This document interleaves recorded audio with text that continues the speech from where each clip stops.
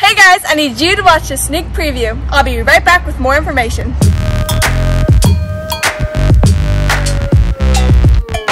It's Mallory and today we're checking out the 2019 Jeep Cherokee. It's in this silver chrome color